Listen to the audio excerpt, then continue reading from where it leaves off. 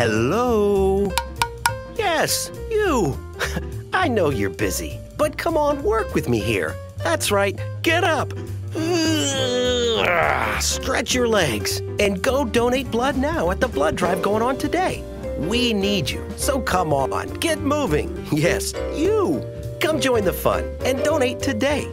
Thanks.